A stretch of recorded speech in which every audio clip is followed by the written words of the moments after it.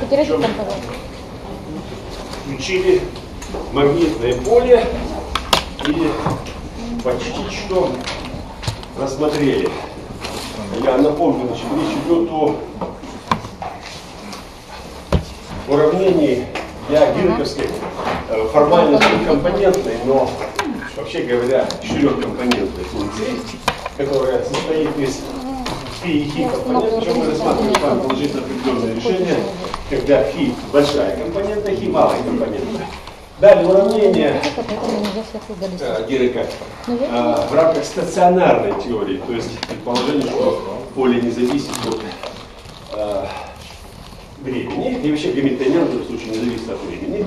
Мы получаем эпсилон фи равняется c сигма p хи плюс mc квадрат фи одно уравнение, и второе уравнение эпсилон хи равняется c сигма p э, фи минус mc квадрат хи. Вот эта система фактически четырех уравнений мы решаем для внешнего магнитного поля. Внешнее поле мы включаем, переходя от P обобщенному импульсу P минус EC на А к обобщенному импульсу, который включает импульс электромагнитного поля.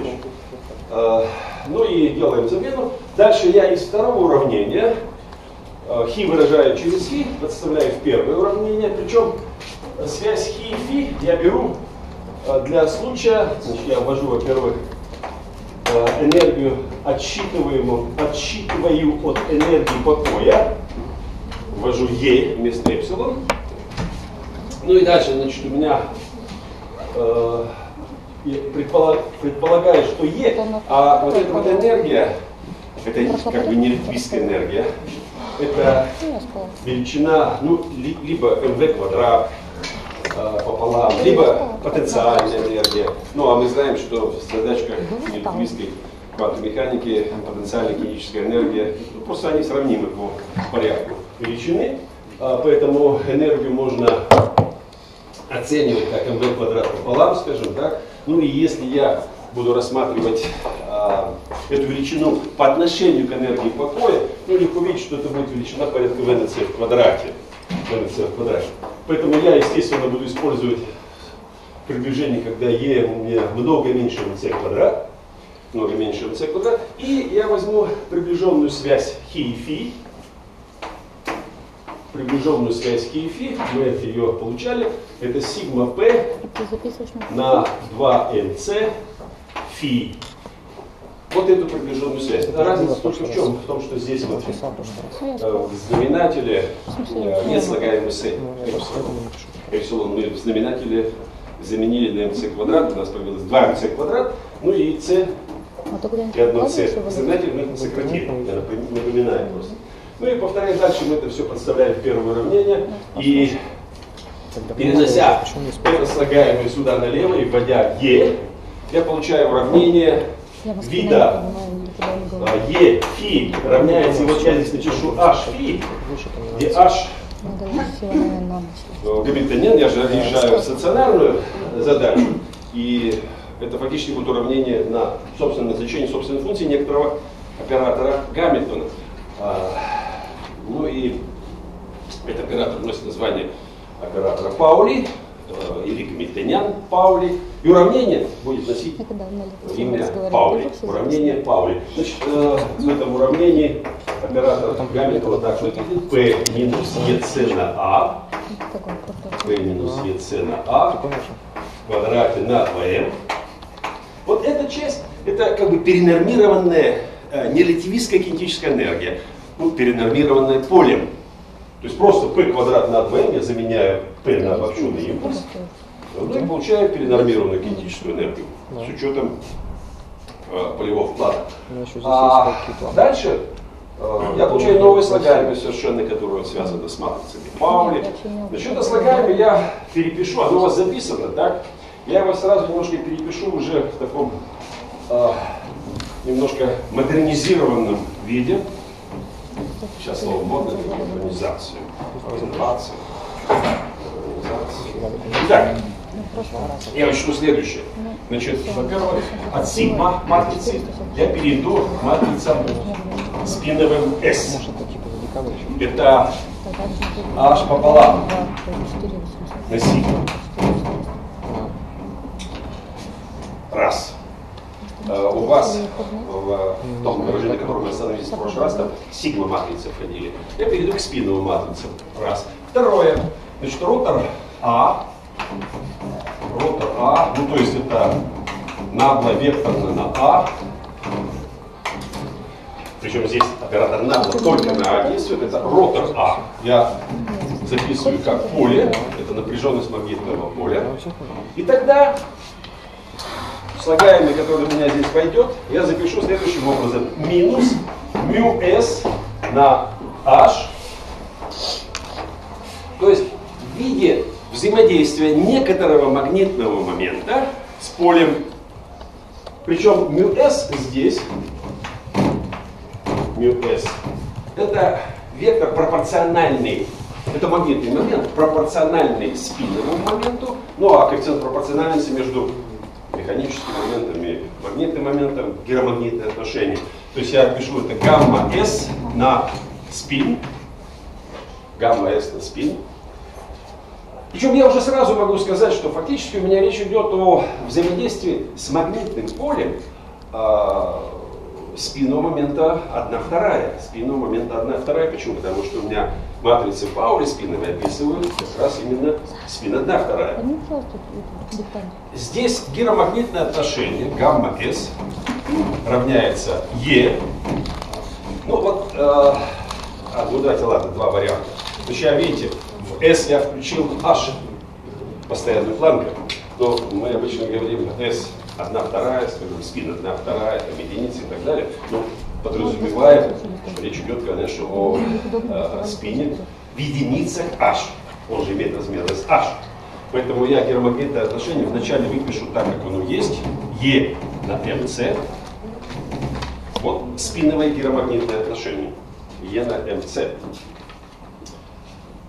Э, но э, если я буду спин рассматривать безразмерным, я вот эту вот постоянную планку сюда вот в гиромагнитное отношение. Э, и запишу, да, и у меня появится EH на MC, ну а есть такая вот константа, э, знаменитая магнитон Бора. Магнитон Бора. Я последовательно сейчас введу этот магнитон Бора. Итак, это будет, если я, повторяю, спин буду рассматривать безразмерным, это будет EH на MC или а магнитон Бора отличается вот от этой константы, от этой величины э, в двух моментах. Первое, модуль Е входит, Е-то ведь отрицательно у нас, значит модуль Е входит, это раз. И во-вторых, двойка в знаменателе. Поэтому в результате я получу вот что, минус 2 на магнитон Бора.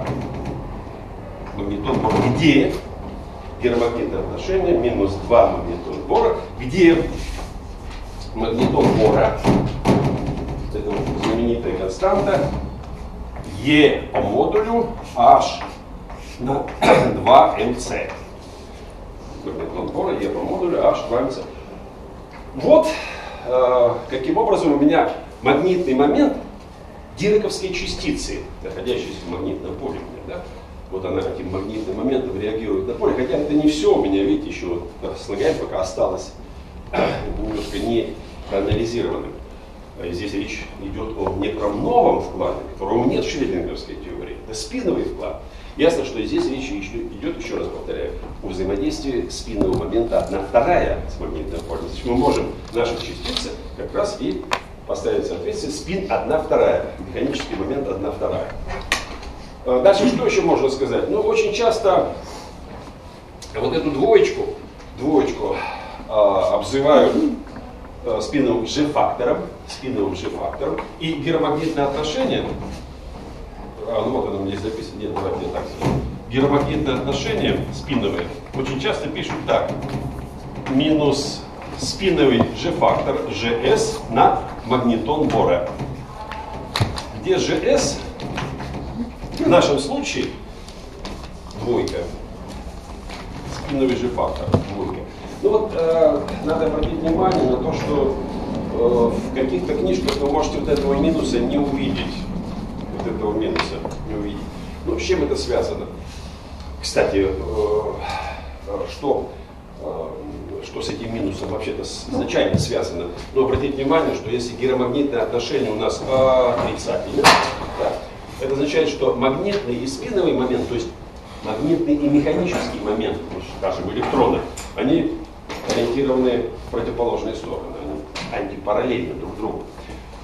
Магнитный спиновый момент. Ну вот вы спросите любого магнитчика, включая тех, которые присутствуют здесь, как спин и магнитный момент сориентированы. Вот так вот и нарисую. Ну как спин и магнитный момент с ним связан. В общем-то, я бы сказал так, что в большинстве случаев вот этот знак роли особо и не играет. Но в деталях, конечно, играет роль. Ну, простой пример. Э, вот представьте себе, вы эффект Займана смотрите, да, у вас спиновое состояние. В этом случае будет расщепляться да, в соответствии с разными значениями проекции магнитного момента на направление поля. Но мы знаем, что выгодное для поля направление магнитного момента это по полю, а против поля невыгодно. Значит, состояние с проекцией положительной магнитного момента да, будет выгодно. Ну а это состояние соответствует отрицательному значению проекции спинного момента. То есть μ или МС равно минус 1 вторая надо писать внизу, а не плюс 1 вторая. А чаще всего все пишут плюс 1 вторая. Вот. Повторяю, что э, если вы эти две ситуации не различаете, да, плюс 1 вторая, минус 1 вторая, э, ничего страшного. Ну, до поры до времени, как всегда, ружье повешенное иногда на стенке иногда выстреливает. Да, вот э, ситуации, связанные с, э, скажем, с двумя магнитными моментами. Например, магнитный момент электрона и магнитный момент ядра.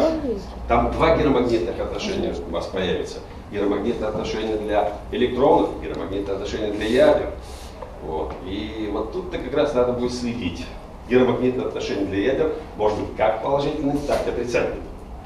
Вот. И вот это, в этих ситуациях а, о чем идет речь? Ну, скажем, так называемый двойной электронно-ядерный резонанс. То есть фактически э, это некое обобщение ЭПР и ЯМР, двойной электрон, ДЯР, так сокращается, ДЯР, или по, кстати, по-русски и по-английски тоже звучит красиво, по-английски ENDOR, ENDOR, электрон южа, double, до, double, резонанс. Ну, от, от, от double занимается. Эндор. Эндор, эндор. Хорошее такое слово. Кстати, собаку можно так называть. Эндор. Ну и Деяр, кстати, тоже можно. Собаку же нельзя называть так, Маша, Петя, ну не принято. А вот Эндор, Деяр я вам советую. Ну, ЭПР можно. Тем что это будет оригинально, по крайней мере. Представьте себе, вы вышли куда-нибудь на площадку, там, собачку себя изображили, там ничего. Вот. Кричите на ЭПР или ДЯ, Эндор. А если у вас много будет физиков соберется, да? а еще математики, там,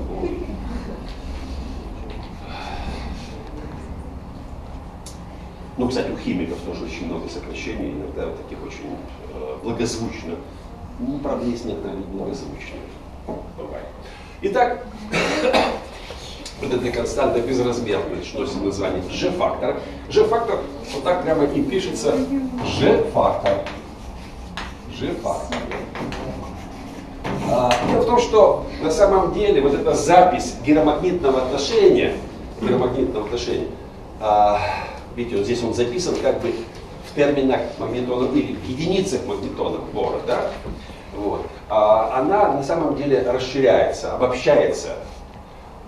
И в общем случае вместо гиромагнитного отношения как некой константы, в общем случае вводят тензор, Тензор. Почему?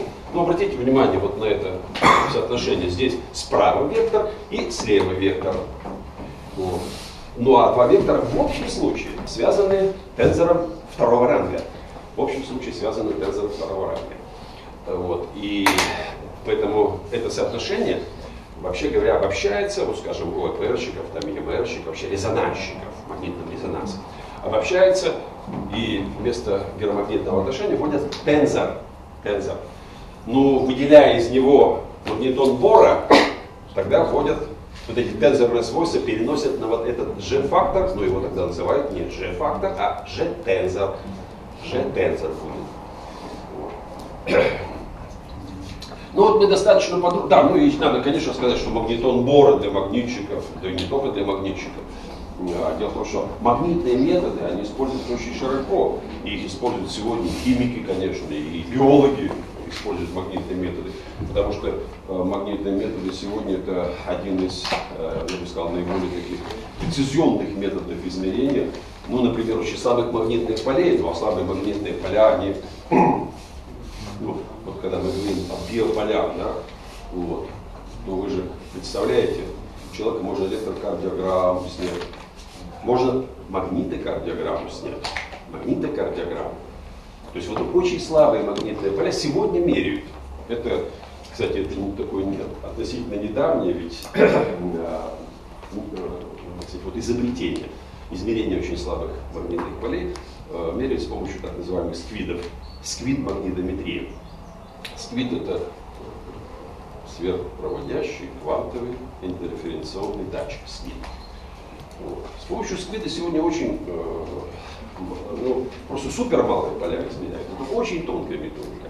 Поэтому магнитчики э, вот где-то, скажем, лет там 30, 40, 50 назад оказались такими людьми, у которых методика, ну такая грубоватая, я бы сказал. Сегодня ничего подобного, и эта вот сквид магнитометрия, она очень широко используется, я бы даже сказал, не столько в химии, в химии там я не сильно а, а вот у биологов, биологов для измерения очень малых магнитных полей. И в частности для исследования эффектов типа влияния, скажем, а, магнитных полей в мобильниках так, на, на неокрепшую, на мозги наши неокрепшие. Вы знаете, есть э, мировой литература. Кстати, у нас этого нет. У нас этого нет. Там на Диком Западе есть куча журналов с названиями типа магнитобиология вот, и биомагнетизм. Ну, в разных вариантах. Вот, таких журналов очень много, вот, и в них статьи, э, огромное количество статей, огромное количество народа. Одни, половина занимается тем, что они объясняют, что это вредно, вот, ну, а другие объясняют, что это не, не вредно. Вот, одни работают по заказу значит, вот всяких Nokia, Samsung и так далее, объясняют, что это совсем не вредно. Ну, а другие по заказу работают на деньги их значит, конкурентов. Вот это, это и такая известная ситуация. Вот, повторяю, к сожалению, у нас как-то это мало известно, и у нас и журналов таких нет совсем. Хотя э, биомагнетизмом и магнитобиологией ну, какое-то количество народа в самой физике все-таки занимается у нас. Ну, немного. И вот магнитон Бора это, конечно, величина очень важна, потому что мы видим, это фактически некий, некий э, масштаб, масштаб измерений магнитных моментов электронов. Единичка измерения магнитных моментов электронов. Магнитон Бор имеет размерность магнитного момента. Действительно, если я здесь спин считаю безразмерным, то у меня вся размерность магнитного момента переносится на, жир, на гиромагнитный фактор. Э, я его жира а вы знаете, по-моему, одно время его очень давно называли жиромагнитный. Вот, так же, как гироскоп, жироскоп. Что-то может быть. А, видите, размер гермагнитного таши магнитудного ура. И вот это тоже надо иметь в виду. Это фактически единичка измерений электронных магнитных моментов. Большая или малая эта величина? Ну, в системе э, старой CGS, я в новой системе не знаю, а в старой системе CGS есть очень простой такой, простая оценка для гиромагнитного, для магнитона Бора 10 минус 20. Это единица только CGSE. 10 минус 20. То есть это э, система единиц, где сантиметры, ну такой, секунды, ну секунды, правда, везде. Вот, но самое главное, сантиметры, скажем. Эрги, качество энергии, а не джоули. Ну, перевести-то несложно, но вот я все-таки привык реально в, в системе CGS все это отслеживать. Ну, это все посчитать, да что считать, вы берете любую таблицу э, физических величин, во многих книжках это в конце или там, в начале, там, на развороте всегда эти таблицы физических единицы приведены. Итак, мы достаточно подробно проговорили вот об этом новом дираковском слагаемом. То есть фактически дираковская теория дает некий, некую регулярную процедуру получения вот этого гамильтониана Паули. Повторяю, Паули его в 27 году фактически предложил, не вывел, а предложил. А в 28 году Дирак его фактически получил из своего уравнения. Как это мы делали? Но давайте еще несколько слов вот об этом нерелятивистском слагаемом, хотя это к коллективистской теории отношения прямого не имеет, но тем не менее реально для, а, для магнитчиков, да и вообще все, для квантовой механики это, конечно, смысл большой имеет анализ этого слагаемого. Итак, проанализируем его. Значит, мы в прошлый раз уже говорили, что вот эта часть вместе со спином, полный гамильтониан Паули, можно записать в виде следующего. Это b квадрат на 2m то есть просто кинетическая энергия без поля, естественно. Дальше и три слагаемых. Это метальный и спиновый, так называемый парамагнитный слагаемый. Вот это слагаемое очень часто называют парамагнитным спиновым слагаемым. Почему парамагнитный? Дело в том, что когда мы говорим парамагнетизм, парамагнитный момент, вот, мы предполагаем, что речь идет о системе, э, ну, чаще всего ионов, скажем, так, у которых существует спонтанный магнитный момент. Вот это очень важно. Как только вы говорите о системе там, атомов, ионов, молекул со спонтанным магнитным моментом, то есть отличным от нуля магнитным моментом, вот, вы сразу можете прикинуть, да, при высоких температурах все эти магнитные моменты будут вот так вот как-то хаотически разбросаны. Среднее температурное или термодинамическое, среднее будет равно нулю, да, вот. Но спонтанный момент существует. Мы говорим материал парамагнетик. Ну и парамагнетик, в принципе, любой парамагнетик при понижении температуры может, ну если расстояние между магнитными парамагнитными ионами, скажем, достаточно небольшое, да, а, то есть концентрация, если магнитных ионов большая, то при понижении температуры такой парамагнетик может перейти в магнитоупорядоченное состояние. Ну а э, мы тем самым отличаем парамагнетики от диамагнетики. Э, для диамагнетиков характерна другая ситуация. Диамагнетики не обладают спонтанным, то есть в отсутствии поля магнитный момент. Вот разница. Парамагнетик в отсутствии поля обладает магнитным моментом, мы говорим спонтанным, то есть без поля. А диамагнетик без поля магнитным моментом не обладает. Спонтанного магнитного момента диамагнетика нет. Значит, у него может быть магнитный момент только индуцирован полем для диамагнетика. Вот. Ну а парамагнитных моментов у атомов, ионов, молекул два может быть спиновый, вот мы о нем сейчас проговорили, и орбитальный, мы его отсюда сейчас получим, так? Итак, два слагаемых отсюда, я в прошлый раз говорил, перекрестный слагаемый минус Е, э, значит, их два, здесь двойка сократится, ЕМЦ, дальше А на П, А на П, так, оператор, и э, слагаемые квадратичные по А. Это плюс Е квадрат на 2 м С квадрат, А квадрат. А квадрат. И, э, ну, ну, наконец, минус спиновые слагаемые, о котором мы только что выше говорили. Минус μ s на h. Вот его-то мы уже преобразовали. Итак, три нетривиальных здесь слагаемые соответствующие взаимодействию с магнитным полем, три слагаемых. Соответственно, это слагаемое мы назовем H орбитальный парамагнитное слагаемое, ну или просто я запишу H орбитальный, давайте по-английски орбитальный. Это H диамагнитное, а это H спиновое. H спиновое. Ну и наконец, вот давайте поговорим немножко вот о форме этих двух слагаемых, об орбитальном и спинном слагаемом. Так, начнем с орбитального слагаемого. Представим себе, кстати, видите, у него форма орбитального слагаемого вообще не похожа на спиновый. Хотя мы говорим, там орбитальный момент, тут спиновый момент, и вроде бы магнитному моменту все равно. В том и в другом случае как бы форма записи взаимодействия с однородным полем должна быть вот такой. Ну, мы сейчас ее и получим. А что для этого нужно? Ну, для этого нужно векторный потенциал однородного поля выразить через через э, само поле. Э, я напомню, что я стер это уже выражение. H равняется ротор А. Это ведь э, дифференциальное соотношение. Ротор это дифференциальный оператор. И на самом деле, э, если вы знаете зависимость, ну скажем, h от координат, то вы можете проинтегрировать это, это уравнение. Да? То есть а выразить через h, а выразить через h. Ну, для однородного поля h не зависит от координат. И тогда, конечно, это дифференциальное уравнение решается относительно А легко. Я ответ выпишу. Итак, для однородного поля это не произвольное решение, не любое решение, а только для однородного поля. То есть случае h константа, в случае h константа. Это 1 вторая h векторно на r. Вот как выглядит векторный потенциал однородного поля. Ну, это вы из электродинамики должны вот как-то эта формула должна появляться. Ну, действительно, можно обратно продифференцировать, взять ротор здесь, ну и вы готовитесь к этому выражению.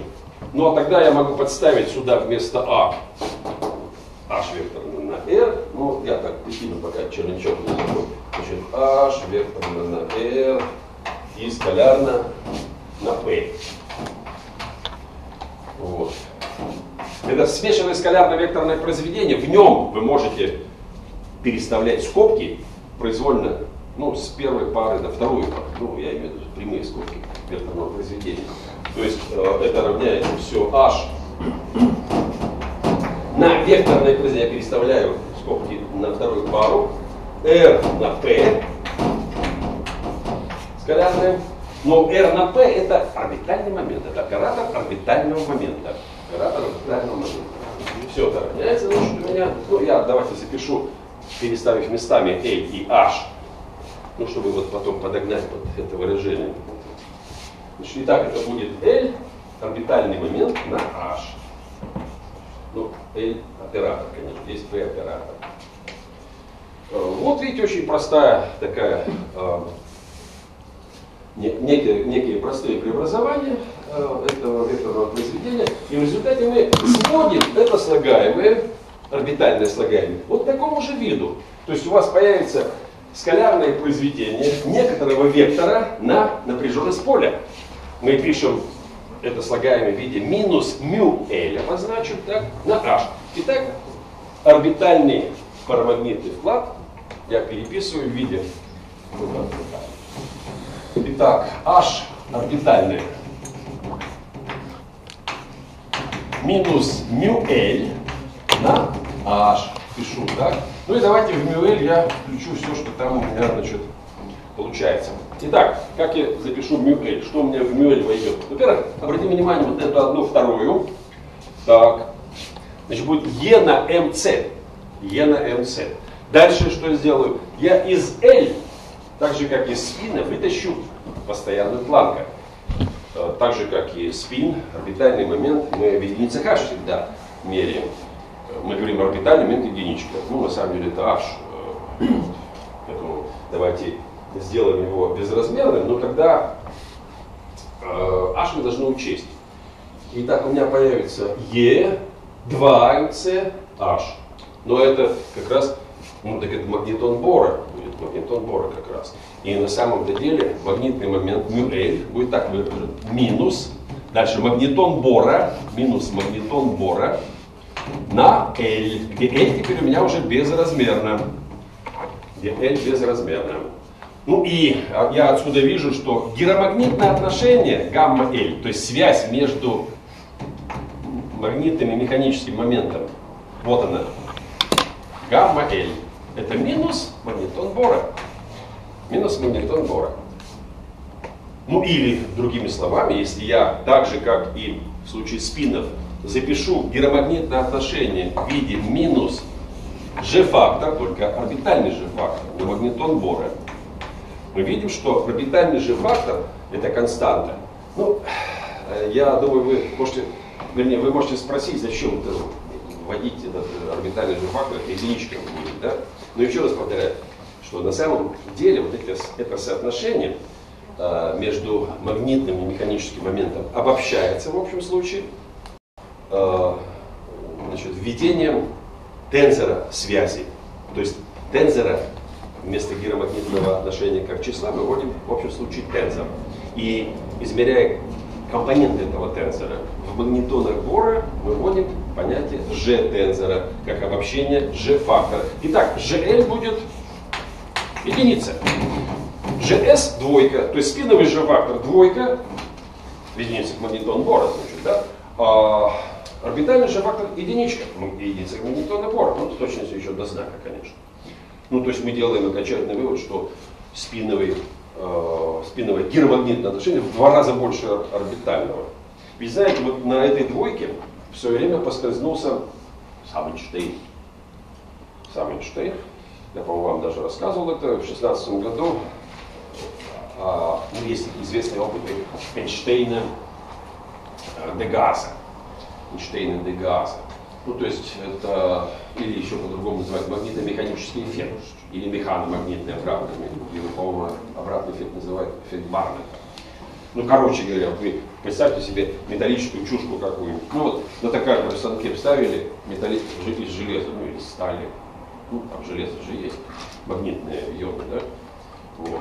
У вас крутится, ну, ротор там крутится, только не забывайте, когда вы вставили эту чушку, вот этот вот ключ, который еще как это называется? Барабан. Ну, барабан, барабан, тоже барабан. Не барабан это называется. Вот поишпинили, что ли, черт. Я вспоминаю, знаете, какой?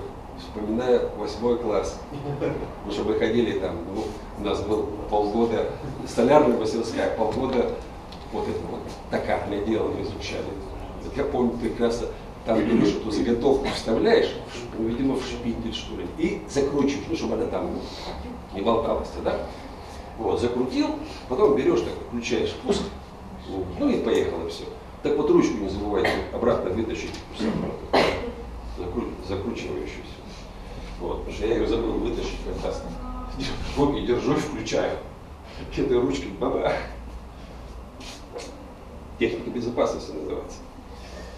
Э, так вот, но самое интересное, я в восьмом классе об этом не догадывался, что на самом деле здесь же у вас что получается? У вас вот превращение магнитных моментов, так, у вас нет, ну, не совсем правильно. То есть при вращении вот этой железяки у вас в ней индуцируется магнитный момент. Ну правильно, там же электроны, я про магнитные моменты забыл. Ваши электроны там есть, да? Вот электроны начинают вращаться вместе с этой железякой, а в нем, но они же ну, правда, вопрос, что в восьмом классе интересный вопрос задать такой. Они же такие легкие, эти электроны. Казалось бы, так вот дунул их и сдуло все. А тут же вращается железяка, а может электроны тогда не вращаются. Их же надо сильно притянуть к чему-нибудь, вот к этому станку, чтобы это все вращало. Ну, вопрос интересный. Может быть, кстати, я сейчас даже не задумываюсь об этом, может быть, тогда это все мне и заложило вот, путь в Уральском университете, что я знаю. Мысли идиотским. Вот. То есть, понимаете, это тоже индуцируется магнитный момент вот, во вращающейся этой железяке. Ну и наоборот, представьте себе, что вы теперь берете эту железяку и помещаете в магнит, магнитное поле. По идее, эта железяка должна вращаться. Почему? Потому что, видите, у вас есть соотношение между магнитным и механическим моментом. Меняя магнитный момент, вы как бы менять должны и механический момент. Ну а меняя механический момент, это что, у вас движение должно системой перейти. Ну и наоборот. Ну так вот, ну, видимо, Эйнштейн экспериментами не занимался, а вот этот Дега занимался экспериментом. Ну а Эйнштейн теорию создавал. Это 16 год. Представьте себе, о спине тогда и речи не было. В 16 году, в спине в 25 году Оленбек и Гаусмит ввели физику. Вот. Но, тем не менее, объяснить эту связь, гиромагнитное отношение, надо было. Ну и Эйнштейн объяснил. Интересная ситуация. Магнетизм железа имеет спиновое происхождение. Орбитальные моменты там заморожены. И вклада в магнитный момент не дают. То есть спиновой природы. А гиромагнитное отношение спины в два раза больше орбитального. А в 16 году, кроме орбитального магнетизма, связанного с вращением, ничего другого не было. Эйнштейн все объяснил, настоящий теоретик. Ошиб, ошиб, а, ошиб, ошиб, ошибившись, ошибившись, да, ошибившись два раза. Вот это такая типичная оценка, э, типичная ошибка для теоретика два раза. Ну, у теоретика типичные ошибки какие? Знак, двойка и десятка. Ну, то есть, а десятка, значит, порядке еще. Я думаю, что все теоретики всегда, но экспериментаторы-то тоже они частенько теоретизируют, да, вот, э, все теоретики, я думаю, проходили через это, через ошибку в знаке, в двойке и в десятке. Порядок. Итак, э, орбитальный вклад мы записали. Записали, вот он как выглядит у нас. То есть он выглядит совершенно аналогично спиновому вкладу. Ну и, наконец, два слова о диамагнитном вкладе. Диамагнитном вкладе. Ну, давайте я его перепишу следующим образом. Вот видите, у меня здесь выписано выражение для векторного потенциала. Давайте я такую упрощенную форму записи диамагнитного вклада приведу. Будем считать, что H и R перпендикулярны друг другу. H и R перпендикулярны друг другу. Тогда мне А квадрат, ну это А по модулю в квадрате, как записать придется? H квадрат, R квадрат. Ну, если они перпендикулярны друг другу, да? И в школе векторное произведение это H, R на синус угла между ними, если они перпендикулярны, синус единичка, все нормально. Итак, вот это э, популярное книжное, на самом деле, книжное выражение для диамагнитного вклада. Итак, H диамагнитное, HD равняется, подставляю сюда э, значит, 1 вторая H на R, э, в квадрате тут восьмерка появится, это будет E квадрат на 8 MC квадрат, дальше R квадрат и H квадрат h квадрат. Но обратим внимание на то, что в отличие от предыдущих слагаемых, те-то ведь были линейны по векторному потенциалу или по полю. Линейно. А это квадратичное по векторному потенциалу и по полю. Видите, h квадрат ходит. Но это слагаемое, тем не менее, магнитное, мы же магнитное поле рассматриваем, так? Вот. И таким образом мы его все равно запишем так же, как мы записывали предыдущие вклады. То есть в виде взаимодействие некоторого магнитного момента с полем. Поле у нас однородное, я пишу минус магнитный момент. Я его только назову диамагнитный, диамагнитный момент. Ну, можно, конечно, сказать так, диамагнитный магнитный момент, но проще, проще просто диамагнитный момент. На поле. На поле. То есть запишем точно так же, как взаимодействие некоторого момента с, с однородным полем. Ну и отсюда я могу сказать, что вот это, этот магнитный момент, диамагнитный момент, мю диамагнитный, как будет выглядеть? Мы сравниваем эти два выражения, видим, что это будет, что, да, этот момент будет пропорционален полю, пропорционален полю. То есть этот момент будет индуцироваться полем, индуцироваться полем. А момент, индуцируемый полем, обычно связывают с полем через магничек через магнитную восприимчивость. Через магнитную восприимчивость. Поэтому я здесь пишу так. Хи магнитная восприимчивость на поле. То есть, видите, это не спонтанный магнитный момент, а момент, который индуцируется полем. Коэффициент пропорциональности между магнитным моментом, ну или намагниченностью единицы объема для магнитчиков. Магнитный момент это, э, ну или намагниченность сейчас уже сам запутался, то ли намагниченность, это магнитный момент единицы объема. Наверное, да. Надо у, у, у магнитчика спрашивать. Вот. Ну, то есть это, короче говоря, это магнитный момент, он всегда на, на какую-то, нормирован на какой-то, хотел сказать, объем. Ой, эти магнитчики, это ужас просто я вот, ну, работая с магнитчиками, я все никак разобраться не мог, они как они нормируют это на магничины, потому что они нормируют так. А, на единицу объема, раз, на см куб, скажем, кубический сантиметр. Ну, на кубический метр никто не нормирует, кстати. Вот, кубический метр, система СИК, кубический метр, тоже никто не нормирует, конечно. Обратите внимание, если вы увидите где-то работу магнитчика с намагниченностью, например, там, температурной зависимостью или полевой зависимостью, и что там увидеть э, нормировку на кубический метр, как положено в системе сил, смешно, просто они охотятся. Ну а такой вот ревностный а, значит, защитник системы СИ, он еще возмутится, как так вообще, как допустили такую работу, кто, где, что, указать и так далее. Ну, глупости всякие. Дальше, они нормируют на вес, на грамм, скажем так. Хуже того, они нормируют иногда на плотность, то есть это грамм СМ куб. Дальше, они нормируют на грамм-моль. Вот попробуйте с этим разобраться. Вот для теоретика это вообще какая-то ну, китайская грамота полная. Очень тяжело разбираться. Ну, правда, и они сами тоже иногда плохо разбираются. Итак, диамагнитное восприимчивость. Ну, давайте вот просто сравним все это, да, мы получим, что, э, значит, да, диамагнитная восприимчивость выглядит так. Это будет минус, она ведь будет отрицательно, минус, ну а дальше, значит, что здесь надо? А, ну вот она, вот с минусом вот это выражение.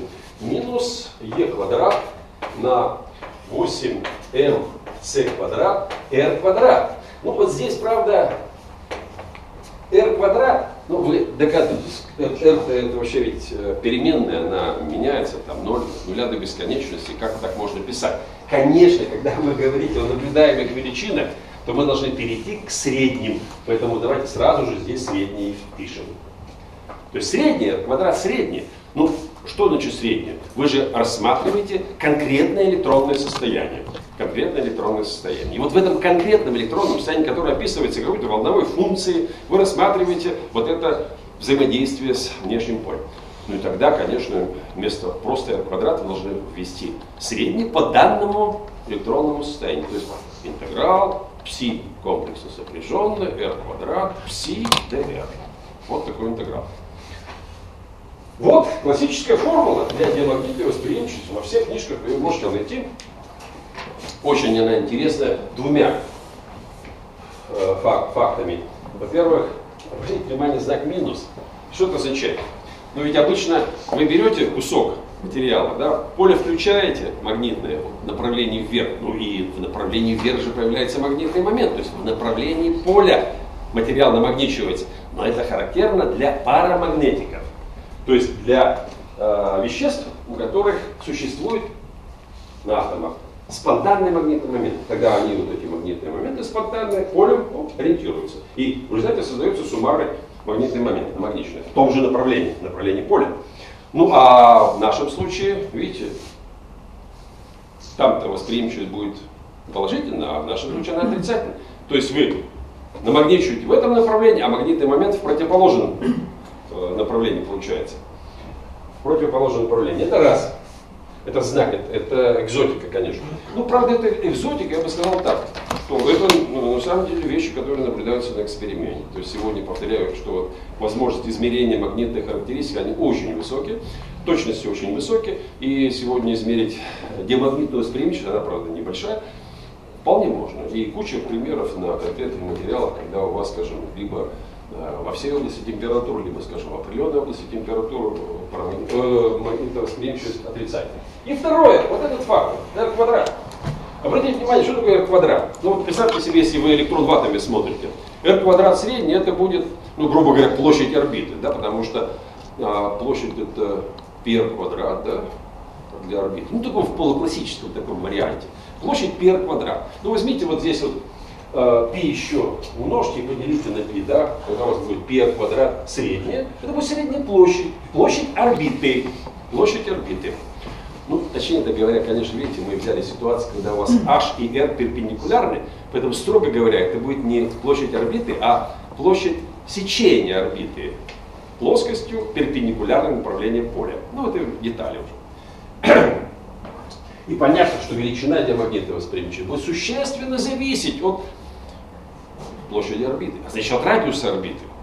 Реальные радиусы орбит в атомах, да, это величины порядка одного ангстрема или одного боровского радиуса. Поэтому оценка диамагнитной восприимчивости очень простая. Подставьте сюда вместо r квадрат один ангстрем в квадрате. Вот это будет примерная оценка диамагнитного вклада в, в, в, в, ну, вернее, вклада в диамагнитную восприимчивость. Ну а если у вас электрон участвует в какой-то вот такой, в каком-то движении, а, ну так, таком, значит, с размерами, скажем, микрон, ну, микрон это все-таки, ну там, даже нано размер у вас 11 рем, нано это 10 ангстрем, так, нано 10 ангстрем, в квадрате уже 100 будет, то есть уже на два порядка у вас восприимчивость возрастет, если вы орбиту будете иметь нано размера. Ну а если ваша орбита будет размера, ну предположим, 1000 ангстрем, 1000 ангстрем. Вот характерный размер орбит, скажем, в сверхпроводниках, там куперовская пара, раз, ну, грубо говоря, размер куперовской пары. 1000 ангстрем. Ну это, правда, характерно для а, так называемых низкотемпературных сверхпроводников. 1000 ангстрем, ну представьте, что 1000 ангстрем. Значит, у вас на 6 порядков восприимчивость возрастет, где магнитная, она примет тот самый аномальный характер, типичный для сверхпроводников. Вот. И это будет вам давать аномальный диамагнетизм, ну а в частности эффект Мейстера. Вот. То есть фактически эффект Мейстера мы можем получить, вот, двигаясь в этом направлении, рассчитывая диамагнитную восприимчивость таким образом.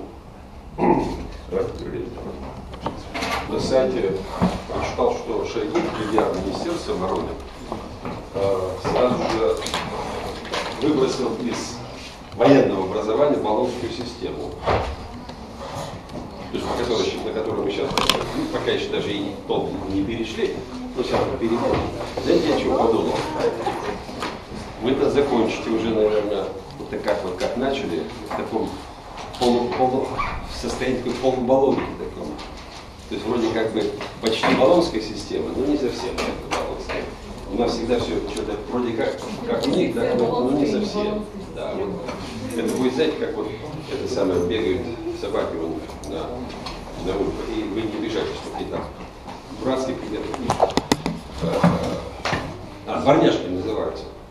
То есть вроде похожи на собаку, и иногда даже на породистую, так, но так же, как у нас. Все как у них в демократии, только свой вариант в демократии, в варианте российском. Вот. Так вот я к чему говорю, да, потому что не исключено, что придет нормальный министр образования, да, правда это уж жить в эту пору прекрасную, я думаю, даже вам не придется. Не только что нам. Чтобы нормальный министр образования пришел. Который на следующий же день, первое, я думаю, у него эфир будет, так, а на следующий день он баллонскую систему выбросит. Так? И тогда, а для нас, представьте себе, мы опять снова по новой. Всякие эти планы, программы, вот. новые всякие будут отделы управления там, и так далее, и так далее управление по Болонской системе будет продолжать работать, а по антиболонской еще новое будет. Ой, ой, красиво все будет. Правда, видите, когда придет нормальный министр образования, я не знаю, потому что приходит только хуже. Вот. Приходит только хуже. Потому что Фурсенко, его ругали, ругали. Но дело в том, что, знаете, Фурсенко был маленький плюс. Ведь этот Фурсенко работал в приличной фирме. Э, он работал э, физтехе, питерском физтехе, ну, ленинградском физтехе. Это очень приличная фирма. Там, там это одна из ведущих вообще у нас фирм э, физических, да, физических институтов. Вот. И, по крайней мере, каким-то образом на него, на него, конечно, вот этот вот коллектив, вообще вот жизнь в этом институте все-таки действовала. И что-то у него было. Но ведь у нового министра уже, он уже воспитанник почти новой системы. Вот это молодой, это вот из разряда эффективных менеджеров. Ну а вы знаете, что такое сегодня эффективный менеджер? Вот. Его учат э, с детства по экрану, на экране телевизора, потом в школе учат, потом во всяких там бизнесах, школах и так далее. Учат пилить только, распиливать. Вот они пилят. Вот. Только, СМИ, только пережили Министерство обороны, Сейчас вот будет Министерство сельского хозяйства. Там какие-то какие суммы. Причем интересно, что в сельском хозяйстве, что на, на чем они? Нет, там какие-то суммы типа десятки миллиардов рублей фигурируют. И министр сельского хозяйства, дама такая, Скрыник, вот, она как-то тихонечко смылась и живет во Франции, где-то в замке за несколько миллионов евро. Хорошо. Вот. Я думаю, и наш министр тоже будет жить в замке. Потому что ему пообещали сразу же, и ты будешь жить в замке тоже. тупо работа как. Как? Называется эффективный менеджер. И никто, между прочим, вопросы не задает. Это очень интересно, обратите внимание, потому что вы мало телевизор смотрите. Его иногда надо же смотреть. Обратите внимание на маленькую деталь. Никто не говорит о том, а кто поставил скрынник, кто поставил Сердюкова, кто поставил или ля-ля-ля, можно перечислять. И кто поставил-то вообще? Это чьи приятели-то? Скрынник, приятельница Христенко есть такой, Челябин, Челябинская мафия. Вы знаете, как Христенко попал, а он попал через Ельцина туда. Ельцин взял с собой, да, Христенко. Христенко свою жену притащил, которая была министром здравоохранения и соцобеспечения, такая дама во всех отношениях такая раскрасавица у нас была. Скрыник тоже такая раскрасавица, и чтобы так как-то немножко расплодить, это девушки Сердюкова, а это девушки Путина были. Вот. Вот, вот, вот, вот их Крестенко, жену свою, они, Крестенко промышленностью, он был, между прочим, первый, сам первый зампремьера был на время Крестенко. Вот он скрынник эту притащил, вот, притащил жену, вот и так далее. То есть это не питерская мафия, это вот такая челябинская была мафия из эффективных менеджеров из Челябинска. Вот. Между прочим, в этом отношении наших э, екатеринбургские, да, ведь их много пришлось Ельцину. Обратите внимание, что большинство из них в этой жизни не устроилось, вот сейчас современные. Они где-то, ну, самые умные из них, какой-то момент, оп, ну, где-то нашли себе там теплое местечко, не сильно такое, вот без больших там вилл, теплоходов, ну, скажем, у Склинников сейчас она еще и теплоходов владеет каким-то. Вот они так тихонько ушли. Я, многих я знаю, многие даже из них наши студенты. Вот. Тихонечко ушли и так себе. А другие просто ушли по принципиальным соображениям. Ну, не сработали с, этими эффективными менеджерами. Так? Других выгнали просто. Вот. Если ты вовремя не сообразил, что с этой компанией тебе не по пути, значит тебя выгонят просто. Если не убьют, то выгонят. И вот так вот раз рассосались, обратите внимание, вот назовите мне пальцем ткните в кого-нибудь из, э, из, из бывших свердловчан, которые сегодня эффективных менеджерах, на высоком уровне, я имею в виду, работают. На низком уровне, пожалуйста, вон далеко ходить не надо, ткните пальцем наш университет, он у нас эффективных менеджеров сколько сейчас расплодилось, так? Вот. Чем они вам, я бы даже сказал, известны. Единственное, что, видите, еще, я почему говорю, а, в таком положительном, позитивном отношении относительно свердловчан. Урал всегда был несколько таким, знаете, вот таким заповедником идеологическим. Вот. Я, я помню, впервые с этим я столкнулся, когда работал в Афганистане. А, я, у меня был большой коллектив, я был руководитель, у меня были москвичи, Питер, Украины очень много, Украины было. Казахстан, Таджикистан, Узбекистан. И были единички.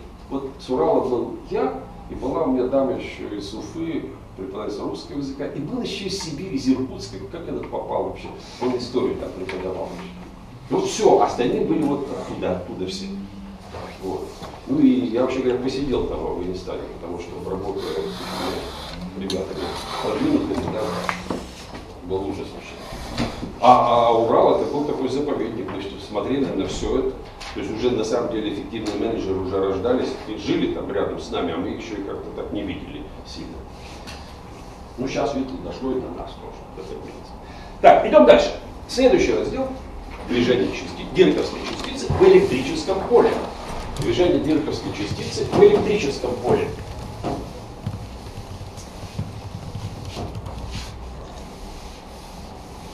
Движение дирковской частицы в электрическом поле.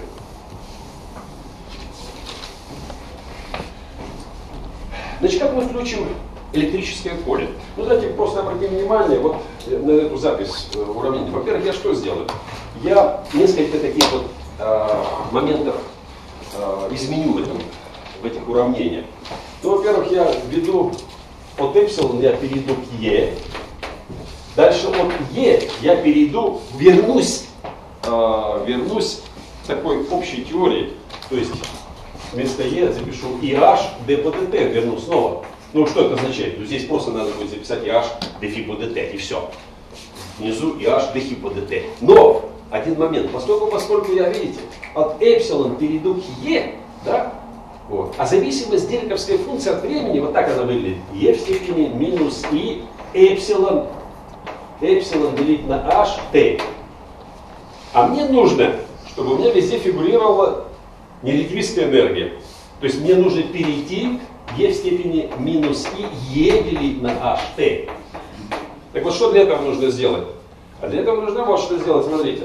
Значит, вот это слагаемое я как бы перетаскиваю сюда, здесь e появляется.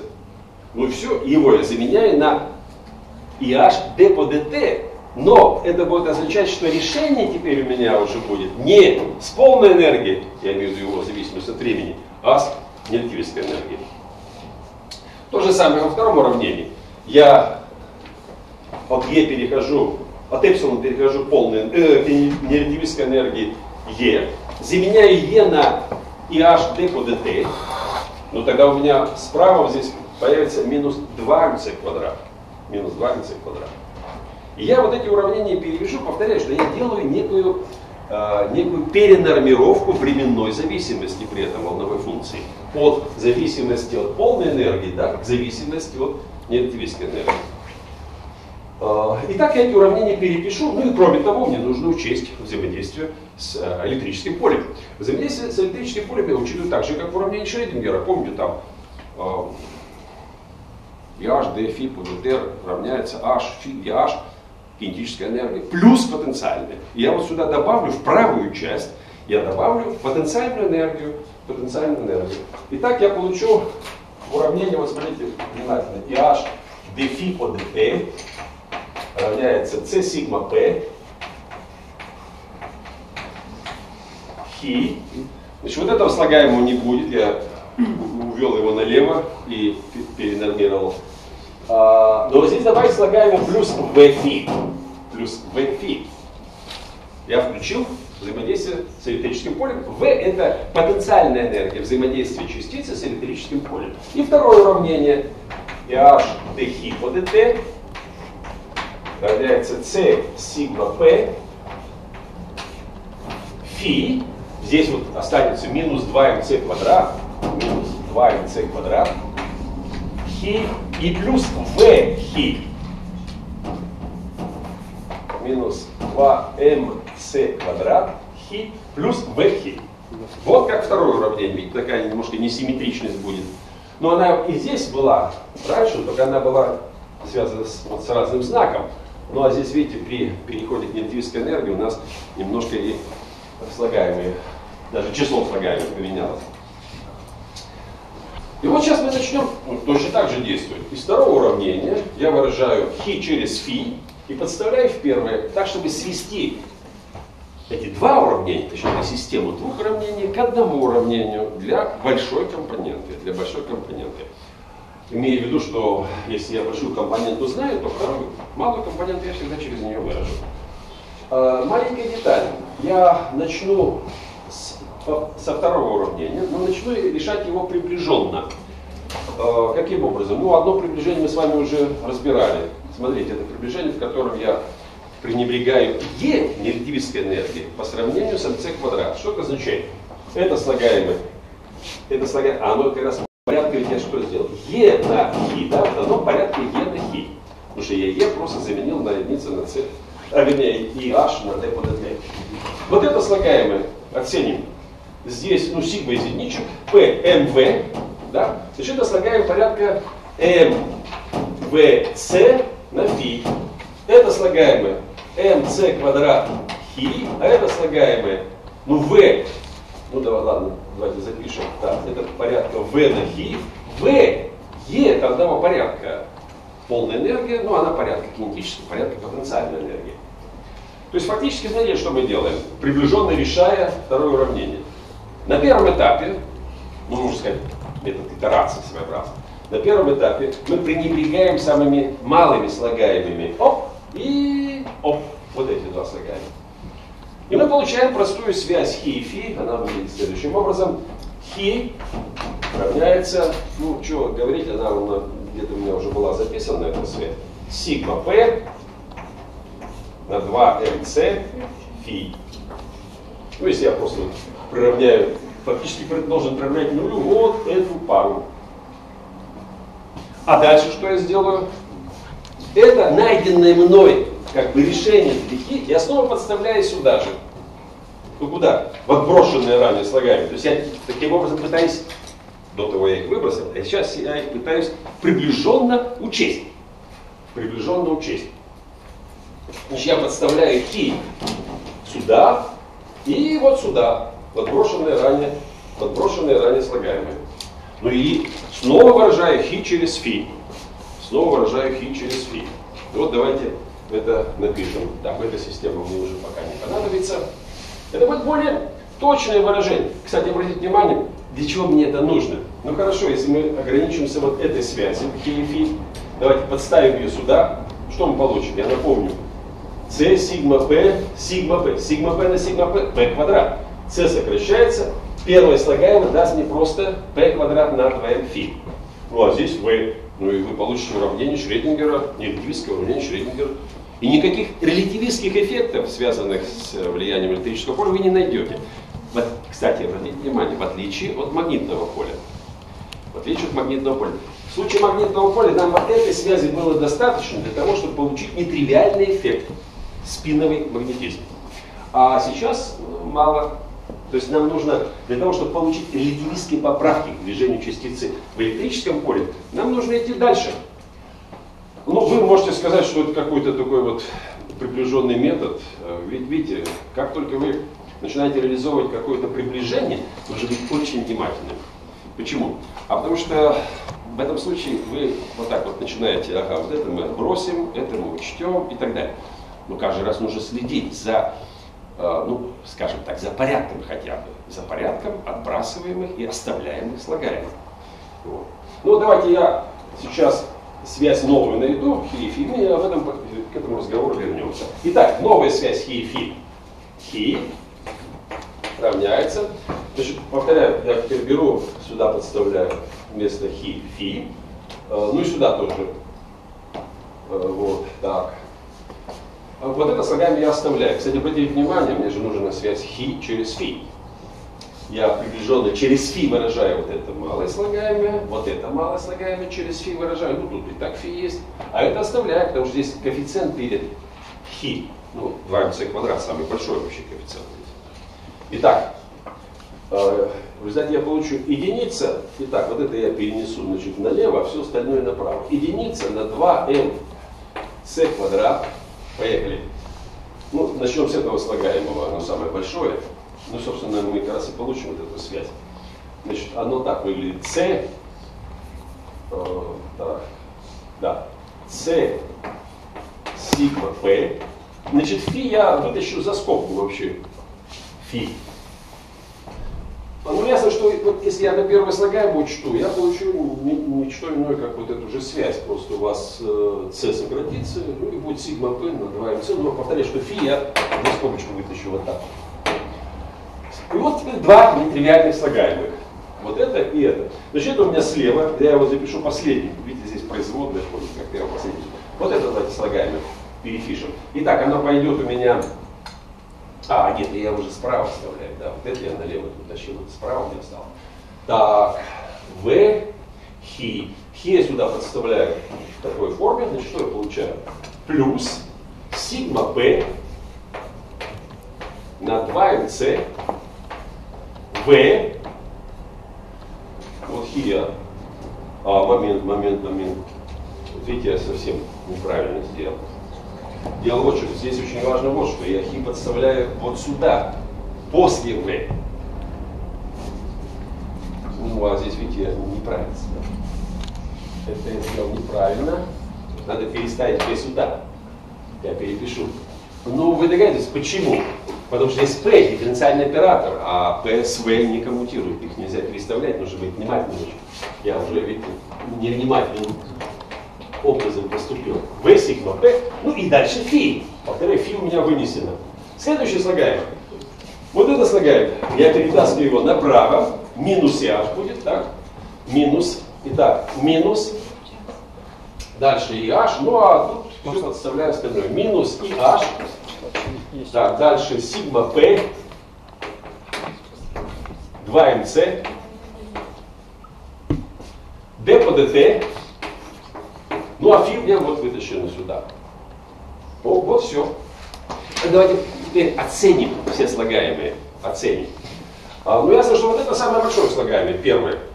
Самое большое слагаемое. А, нас будет интересовать. А вот следующие два слагаемых, они какой же, какого порядка по отношению к первому главному слагаемому, вот к этому. Значит, повторяю, что это слагаемое порядка М, В, С. Смотрим сюда. В. Потенциальная энергия. Ну, потенциальная энергия, она порядка кинетической энергии, да? Значит, я оцениваю так, это m v квадрат, v оцениваю, порядок. Ну, понятно, что здесь мне нужно оценки сделать так, чтобы можно было сравнивать первое со вторым, с третьим. Итак, v оцениваю как mv квадрат, здесь у меня mv идет, ну, внизу mc квадрат, mc квадрат. Значит, m сокращается, остается так, вот э,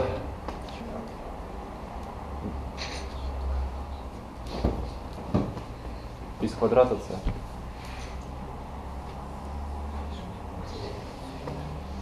Так, v квадрат, c квадрат. Э, так, что я чуть-чуть сам не понял уже. Если mc квадрат у меня, да? Нет. mc? Да. А без квадрата, да, вот так? Да, вот это правильно. mc в mv. Здесь, а, вот mv квадрат. Да, да, ну надо поделить, значит, на МВЦ, чтобы найти отношение. Вот делю на МВЦ, значит у меня будет так, здесь МВЦ, М сокращается, В сокращается, В квадрат на С квадрат. Тут я как-то как тут здесь сложно получилось. Ну, неважно, ответ простой. Это слагаемая величина порядка v на c в квадрате от первого. То есть вот это, если это я за единицу беру, так, давайте вот так, если это за единицу, то это величина c в квадрате от этой единички. Э, сюда идем, оценка. Значит, первое, mv, ну а здесь mc. А вот эта вот энергия, итак, оцениваю. Значит, здесь mv, t. Дальше и h d dt, это же энергия у меня E, это тоже величина mv квадрат, mv квадрат. Дальше mc. А, ну это то же самое получилось, что с предыдущим слагаемым. То есть если поделить на mvc, вот на, на оценку для этого слагаемого, мы опять же получим величину порядка v на c в квадрате. v на c в квадрате. От единички, вот от этого слагаемого. То есть на самом деле мы учли два слагаемых, единственный, кстати, которые э, по отношению к первому, ведущему, дают нам величины порядка v на c в квадрате. Так вот, давайте договоримся так, дальше. Придерживаться вот именно такого порядка оценок. То есть эффекты порядка v на c четверкой, скажем, не, не оценим, да? не учитываем. Для нас это ноль будет. Ноль. Вот это очень важно. Но если у вас появляется какой-то эффект порядка v на c в квадрате по сравнению с единичкой, то его нужно обязательно учесть. Повторяюсь, все эффекты более высокого порядка мы отбрасываем, считая их нулевыми для нас.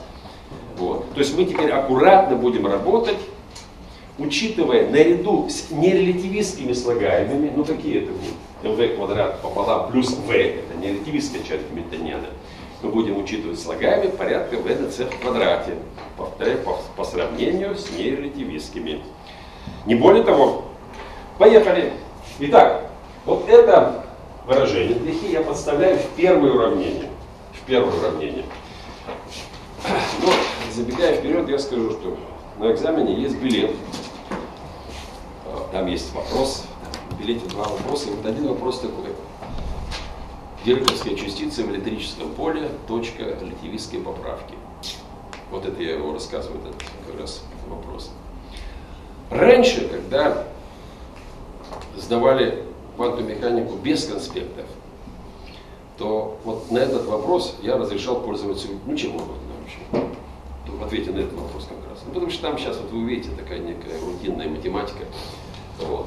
Правда, она хорошая математика, она такая квантовая математика. Ну, то есть, если там приходится использовать некие результаты из всей квантовой механики, которая была до того. Вот. Я имею в виду соотношение всяких.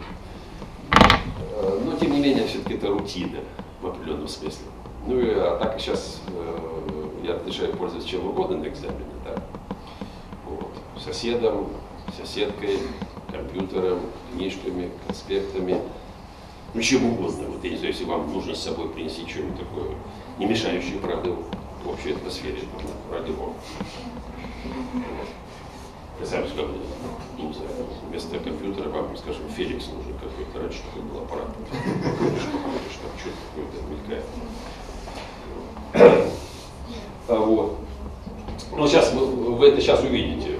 И я бы сказал так, что э, с одной стороны, это вообще говоря, э, математика, она красивая. Почему? Потому что в конце концов, после того, как мы продеремся вот через эти дебри, через эту тайгу каких-то выражений жутких, так, мы получим, выйдем, знаете, как продрался, вышел, так, берег моря, горизонт, небо, все чисто, все три слагаемых вот останется. Три, вот наша задача не три литивистские поправки найти.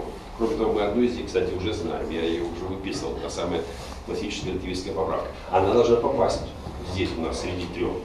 То есть фактически это нам нетривиально две только нужно найти, две поправки. Забегая вперед, я скажу, это поправки, которые либо в целом обе называются спинорбитальное взаимодействие, либо одна спинорбитальное взаимодействие, а вторая поправка Дарвина ее еще зовут. Дарвин. Ну, знакомая вам фамилия, но не так, не то. Итак, поехали. Подставляю это выражение для хи вот сюда теперь беру. О, а вот только сюда. Здесь хи только в одном месте. Дальше я сразу же вот что сделаю. Смотрите, у вас появится слагаемое с d по dt, с d по dt. Я это слагаемое с d по dt сюда перенесу, налево. Ну, чтобы у меня слева стояла производная dφ по dt, но она теперь немножко будет э, еще снаряжена со множителем. Ну, неважно, а справа, справа часть там все остальное. Итак, вот это слагаемое я после подстановки сюда перенесу налево. И вот теперь начинаю с левой части. И h, и h тоже здесь есть, так? Скобку открываю. Единичка, это вот, это слагаемое начал расписывать. Единичка. Ну а тут что у меня будет? Смотрите, я подставляю сюда сигма p. И еще раз сигма p. Мы с вами говорили, это p квадрат. Сигма p, сигма p это p квадрат. Значит, будет p квадрат. Дальше c сократится p квадрат, c сократится, э, c сократится, 2m, 4m квадрат, c квадрат, там еще c сократится, p квадрат на 4m квадрат. C квадрат. И со знаком пойдет налево плюс. Итак, единица плюс p квадрат на 4m квадрат. C квадрат. Ну, обратили внимание, что по размерности попадаем. p квадрат это m квадрат v квадрат, ну и по размерности это безразмерное отношение, нормально. Кстати, обратите внимание, по сравнению с единичкой, это что за величина? vc в квадрате. О, это нас, это нам как-то тепло от этого, потому что мы так договорились. И ясно, что это слагаемое нужно будет учитывать. Хотя оно от единички малая величина вообще обычно, vc квадрат. Но мы же ищем релятивистские поправки и, вообще говоря, предполагаем заранее, что они какие-то очень, большие, наверное. Хотя Бог его знает. Заранее ничего не угадаешь. Итак, и h, ну а дальше d фи по dt. d фи по dt. Это левая часть. Это правая часть. Ну, поехали справа. так, подставляю сюда вот это слагаемое. Что получается? Сигма p на сигма p. p квадрат. c квадрат сокращается, p квадрат на 2m. И плюс еще будет, вот оно слагаемое, v. Ну так это h0. Это h0, это не релятивистский гамильтониан. Ну просто давайте его, нет, я все-таки его распишу так, p квадрат на 2m плюс v. Итак, правая часть p квадрат на 2m, потом будет понятно, почему я так сделал. p квадрат на 2m плюс v справа, ну и скобочку открою, фи будет у меня за скобкой, это я учел вот это слагаемое и отсюда э, вот это. Ну, вообще осталось одно только. Во. Но тут хитрее. Видите как? Там сигма P, V, сигма P. Вот, кстати, видите, я вспомнил вовремя. Если бы было наоборот вот так, то там опять бы появилась комбинация сигма P на сигма P. А сейчас сложнее комбинация будет. Итак, вот это слагаемое придется аккуратно расписывать. Итак, что оно мне даст? Справа. Так сигма p, v сигма p, 4m квадрат, c квадрат. Итак, плюс сигма p, вот началась та самая рутинная математика, сигма p, ясно, что вот эту вот комбинацию, эти три сомножители, надо как-то будет преобразовывать. Делить на 4 m квадрат c квадрат. 4m квадрат c квадрат. Так, момент. Правильно все там сделал? Так, это вот это слагаемое, тут m квадрат. Ну все, вот это m квадрат, c квадрат, c в кубе, но там c есть. Да.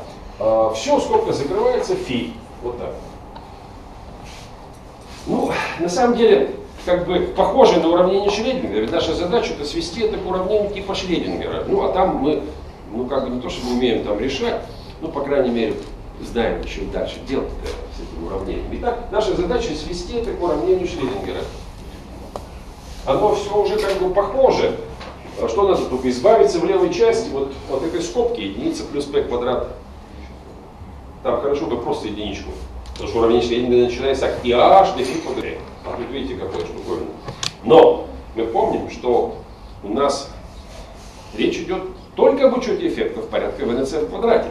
Давайте я умножу левую и правую часть этого уравнения на единица минус p квадрат на 4m квадрат c квадрат. Умножим слева левую и правую часть, слева левую и правую часть. Ну, слева это важно. Слева. Почему? Потому что p квадрат дифференциальный оператор на самом деле. А здесь видите, вот стоят v, например, да, p квадрат v или vp квадрат. Разные вещи. Надо аккуратно нужно смотреть. Умножаем. Что получается? Ну, здесь у вас единица плюс на единица минус. Это единица минус квадрат соответствующий. Но дело в том, что квадрат здесь, видите, будет p в четвертой на 16m. А, здесь вот квадрат надо прописать. 16m в четвертой, c в четвертой. Но эта величина по сравнению с единичкой уже эффект порядка v на c в четвертой. И для нас это 0. Поэтому на самом деле после умножения вот на эту скобку слева будет в нашем приближении единица. Итак, умножаю. И переписываю, давайте я так сделаю, значит, умножаю да, и переписываю уравнение в виде pH dφ по dt равняется, ну левая часть у меня хорошая теперь станет, ну справа, правда, и я правую часть запишу так, h' на φ. h' на φ. А что собой h' представляет? Ну вот это, вот эта скобка а умножить на единицу минус p квадрат на 4 квадрат c квадрат. Вот. Я-то просто сделаю, я вот так вот. Оп, правый, я записал h' равняется единица минус p квадрат на 4 n квадрат c квадрат.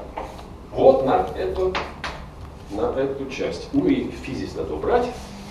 О, вот это h' у меня. Я, ну видите, я недаром обозначил это через h'. Ну, во-первых, обратите внимание, довольно страшноватое уже становится выражение.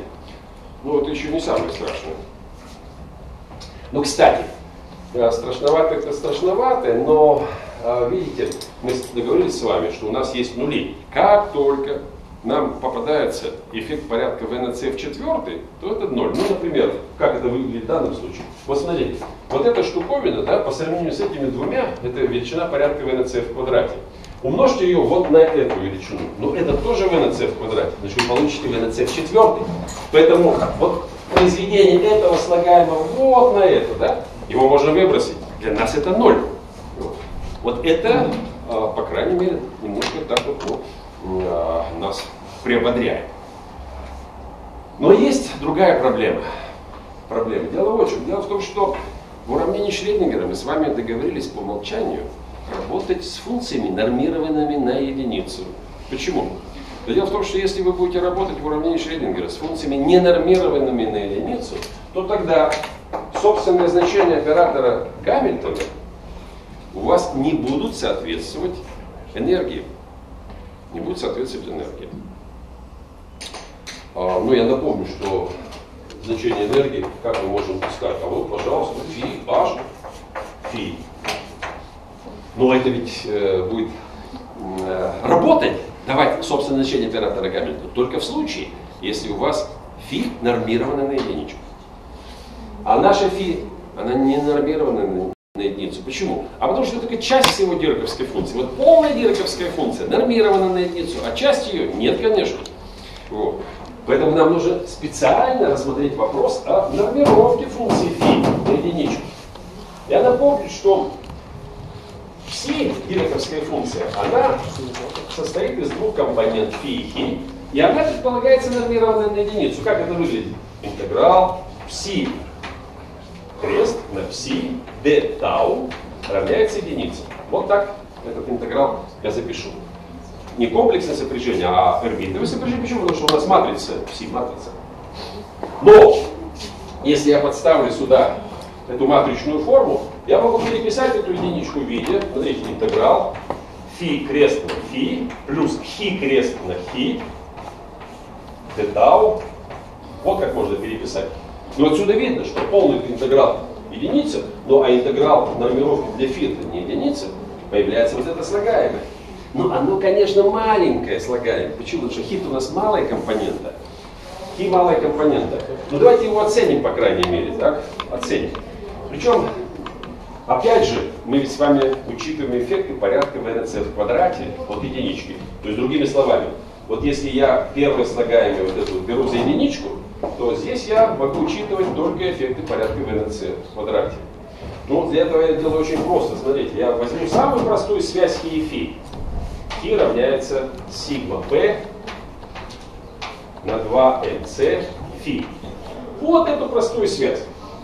Легко видеть, что при этом хи крест на хи даст сюда вклад по сравнению с первым интегралом порядка на c в квадрате как раз. То есть вот этой приближенной, а, приближенного соотношения между хи и фи будет достаточно для того, чтобы нам найти в нашем приближении интеграл нормировки для фи найти. То есть как я перепишу? Ну, смотрите, теперь подставляю сюда, но при арбитровом сопряжении я что делаю? Местами переставляю со множители. В серединке у меня появляется сигма p на сигма p, p квадрат.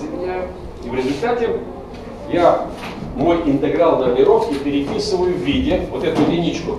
Итак, интеграл пси крест на пси d тау перепишется следующим образом. Интеграл фи, крест, э, фи крест. Единица, я расписываю этот интеграл, здесь же тоже будет фи крест на фи останется, так?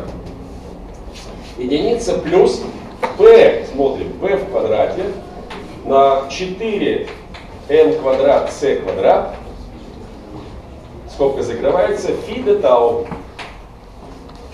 Вот как выглядит теперь этот интеграл в нашем приближении. Но здесь четко видно, что да, вот отличие интеграл нормировки для фи от единицы как раз дает нам величину порядка в НЦ в квадрате. Ее нужно учитывать, значит. Ее нужно учитывать. Как теперь быть? Ну, нам нужно вместо фи теперь ввести функцию нормированную на единицу. То есть перенормировать функцию фи. Перенормировать.